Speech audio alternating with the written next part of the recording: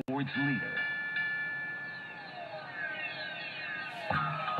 All right, Oscar De La Hoya is promoting the Ortiz Mayweather fight, his Golden Boy uh, Productions, right in the middle of this deal. Uh, Oscar now joins us. I, I want to open Oscar with the 24/7 show, which is a great, you know, a great uh, promotional tool.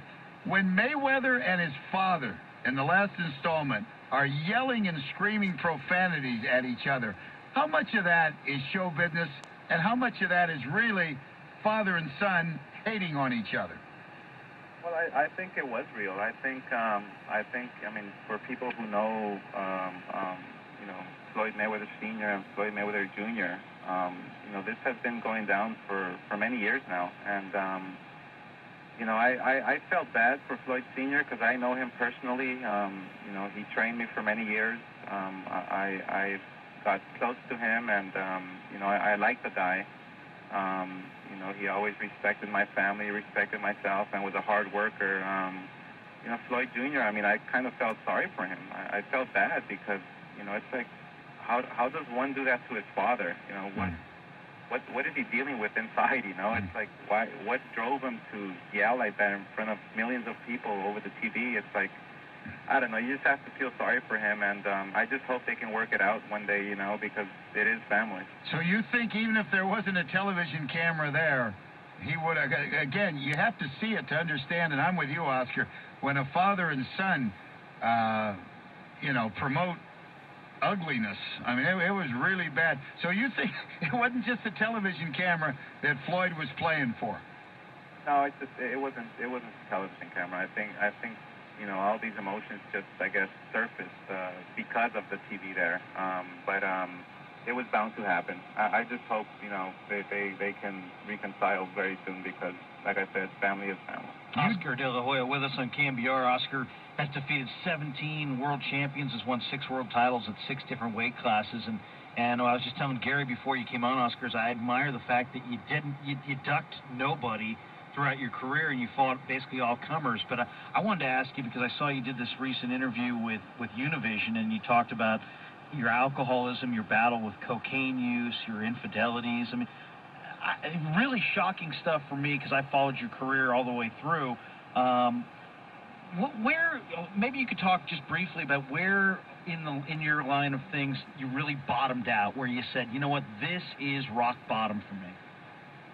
Well, I think I think um, I think I mean rock bottom for me was was was many years of, of um, you know the fact that I knew how to hide it, the fact that um, I was just living a lie, um, basically.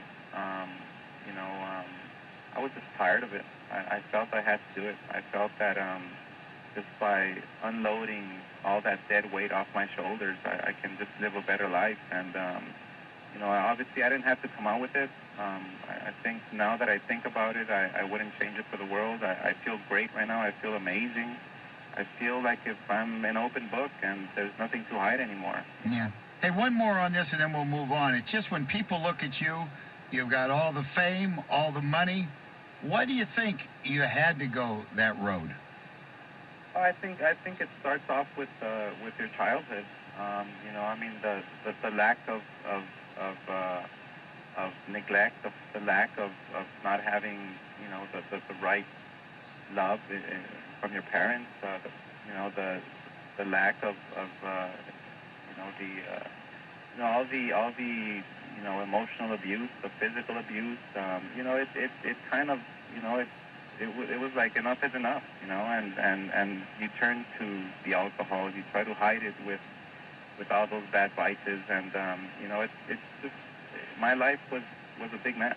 All right, back to boxing and promoting the Floyd Mayweather fight. Do you think before he becomes a household name like like you did, like Ray Leonard, uh, he has to beat somebody like a Pacquiao that the public is familiar with?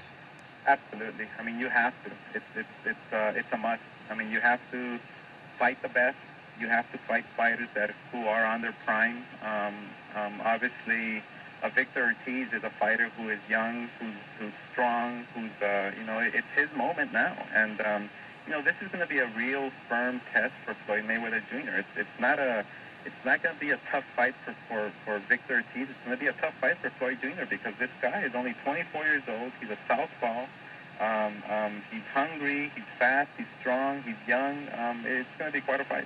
Hey, Oscar, you know, I mentioned before you fought everybody, uh, uh, you know, Julio Cesar Chavez, Trinidad, Hopkins, I mean, you name it, uh, Mosley, Mayweather, Pacquiao, you fought them all. Who would you say, looking back at your incredible career, was the toughest fight or the toughest guy that you ever fought in the ring? I think now, now thinking about it and looking back at it, um, has to be uh, uh, Bernard Hopkins. Um, you know, fighting him at 160 pounds in middleweight, um, I don't think I kind of knew what I got myself into. Um, it, it's kind of like the first bell rang and it was like, oh shit, here, uh, here we go. I, am sorry. Um, I, you know, it's like this I, isn't HBO, Oscar, but you'll get away with it. Go ahead.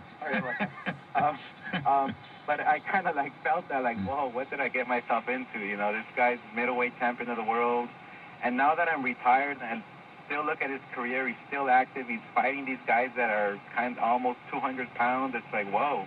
You know, I mean, yeah, he caught me with that body shot, but I was actually doing okay in the fight. Mm-hmm. You know, and um, you know that that has to be my toughest fight. Last one. Why do you think so many younger fans are migrating to this MMA uh, over just the regular boxing? Well, I think because I mean, first of all, uh, the MMA is is uh, is uh, you know it's it's it's it's a sport that is uh, is, is regulated, a sport that you know it's it's it's the UFC. I mean, MMA is is the UFC, and and and so it's like a league, you know, and there's no confusion of who's the champion, and there's no five champions in every weight class, and so you know people are intrigued by that, and um, you know it's kind of like the NBA, it's kind of like baseball. It's like okay, you want to watch baseball, you watch you watch the MLB. You want to watch, uh, uh, uh, uh, you know, you want to watch uh, uh, football. You go to the NFL. You don't go to other leagues or other. It's you know, boxing is just so confusing, confusing, and we're not getting the fights that the fans want to watch. That's the problem because they're hard to make because there's so many promoters. There's so many titles. There's a lot of confusion going on, but I think I think um, I think we're uh, we're onto something here with Golden Boy Promotions. I think I think, uh, look, we're a young company. Uh, we're innovative. Uh, we like to think outside the box.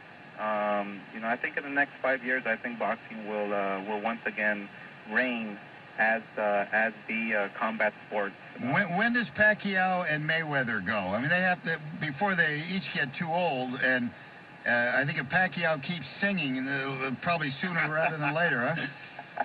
I, I think that fight will definitely happen next year. Um, mm-hmm. I, I have uh, I have all the confidence in the world that that obviously we know Floyd Mayweather wants to fight, Pacquiao wants to fight.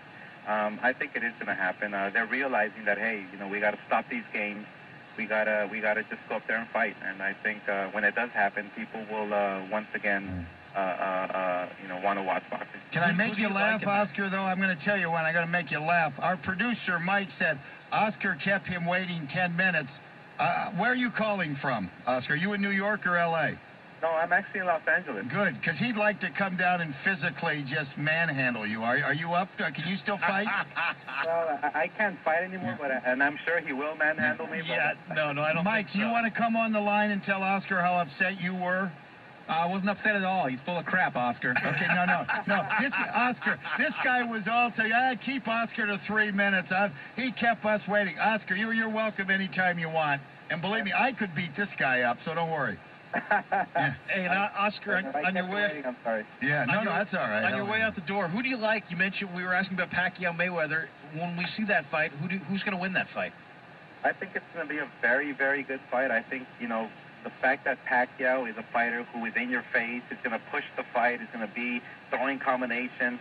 I think Pacquiao is just a bit too reckless for a Mayweather Jr. I think Mayweather, Mayweather's a fighter who is who who who who who is scared to fight.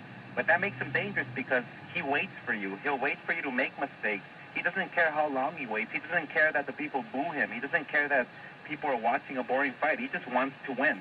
Mm-hmm. And so I think the fact that Pacquiao's going to be in his face and throwing reckless combinations, I think I think a Mayweather can kind of pick him apart. And uh, you know, so I, I would have to go with Floyd Mayweather Jr. All right. Good luck, Oscar. I hope you can sleep at night. You're putting Don King out of business. huh?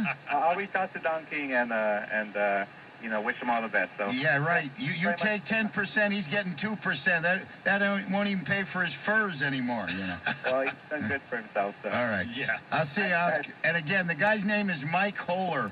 Uh, if you if you're ever going to be on time for an interview, be on time next because he'll take one, but he won't take two. All right. Look at that, Mike. Mike, why do you you hung up on him, didn't you? What what is this guy is just Mike? You're just drunk with power. The great Oscar Yeah. De La Hoya, Mike said goodbye. Yeah, Bill has one meeting where he says, Oh, look at the "Hang up on these guys." And Yeah, he's that- playing clap. Hey, Mike, Mike, you suck on these sports leagues.